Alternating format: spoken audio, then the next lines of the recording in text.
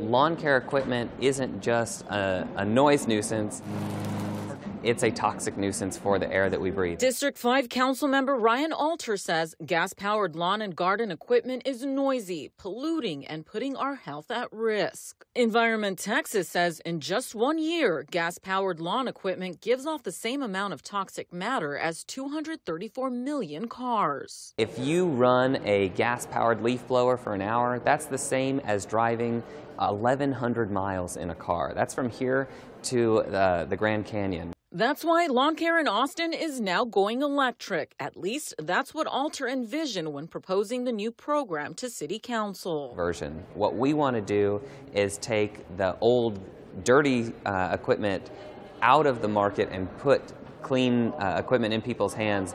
That's why I think of it as like a cash for clunkers. Bring your old equipment in and walk away with something that's new and clean. Right now, some Austinites are able to get instant savings when they want to go electric.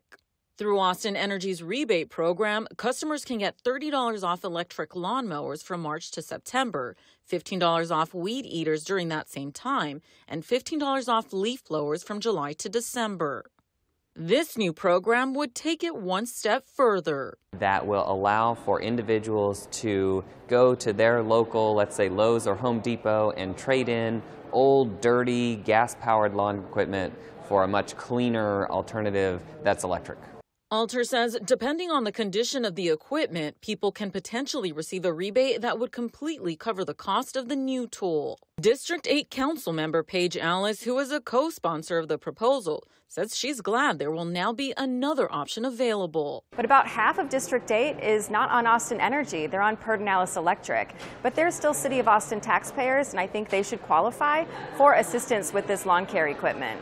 Alter says there aren't any cons to this program. He says years ago, when electric lawn care equipment was fairly new, one of the downsides was the battery life, but that's no longer an issue today. Thank you for watching. Please hit the subscribe button and get the latest news by downloading the CBS Austin News app.